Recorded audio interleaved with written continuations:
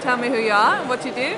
Hi, my name is Megan Walline, and I'm with the Stockholm International Water Institute for six months as a Fulbright Scholar from the US.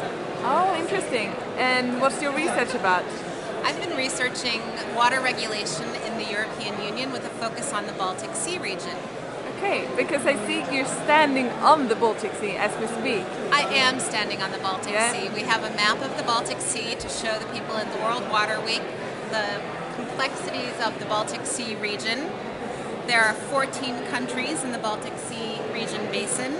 There are nine countries bordering the Baltic Sea, eight of which are members of the EU. So essentially, the EU has become an inland European sea with uh, the exception of Russia. So tell me, Megan, but there's a lot of talk about pollution in the Baltic Sea. What are the biggest problems? The main problem facing the Baltic is eutrophication, which is a big word for algae blooms, which are caused by excess nitrates and phosphates, which are um, basically the result of detergents in, and other pollutants. Um, excess phosphorus and nitrogen loading results in decreased oxygen availability in the water and increased algae blooms. So in the summertime, when the Baltic is green and full of mossy substance, that's the result of eutrophication.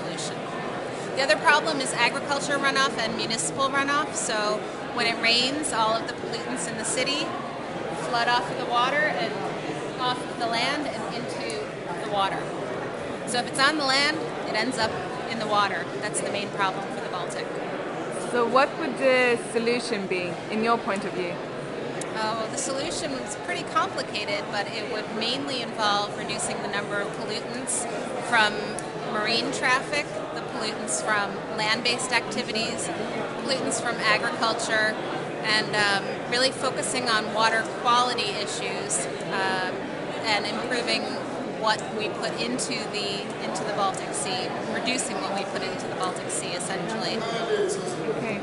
We have the regional strategy for the Baltic Sea uh, coming up. What, what do you think about that?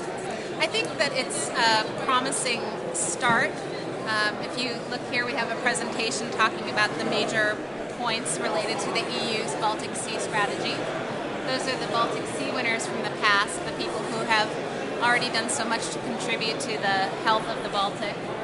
Um, but the upcoming strategy is unique in that it's the first time the EU has passed a regional strategy um, and has looked at a particular region based around an environmental resource and is um, working to pass EU directed, uh, it's not legislation, but it's a plan for linking, uh, linking the environment with this, the um, economy, transportation, and um, other sectors of society so that they're all integrated and dealt with in one piece of um, EU, uh, one EU strategy. Thank you, Megan. Could you tell me once again what, what your name is and what you do? My name is Megan Walline and I'm with SIWI. Thank you.